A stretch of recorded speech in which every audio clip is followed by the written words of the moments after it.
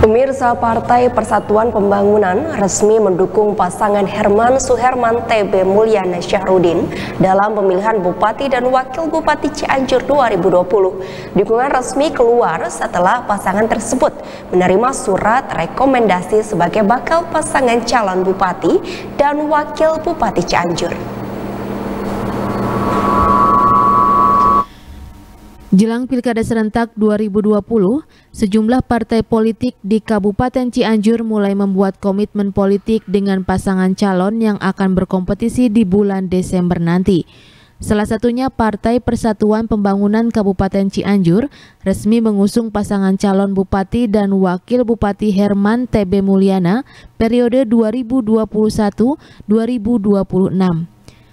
Disaksikan partai pengusung lainnya, surat rekomendasi diserahkan langsung Wakil Ketua 1 DPW P3 Bidang OKK Provinsi Jawa Barat, Yusuf Fuad beserta Ketua DPC P3 Cianjur, Jimmy Perkasa dan beserta pengurus.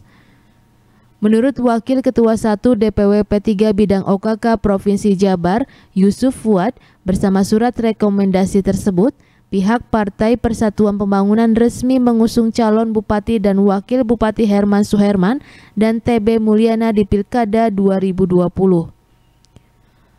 Hal tersebut merupakan atas dasar setelah dilakukannya survei internal secara menyeluruh bahwa pasangan BHS M layak diusung oleh Partai P3 serta di bawah kepemimpinan Herman Suherman dan TB Mulyana, cita-cita untuk memajukan Cianjur bisa tercapai.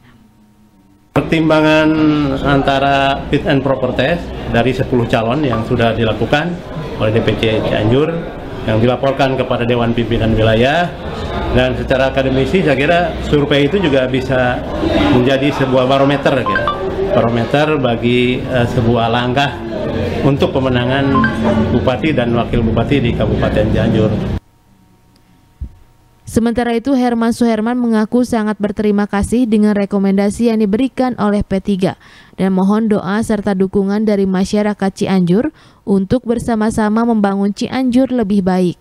Tentunya saya dengan Pak TB Mulyana mohon doanya dan mohon dukungannya untuk warga Cianjur sehingga saya bisa melanjutkan pembangunan di Kabupaten Cianjur bersama Pak TB sesuai dengan apa yang diinginkan oleh warga masyarakat Kabupaten Cianjur.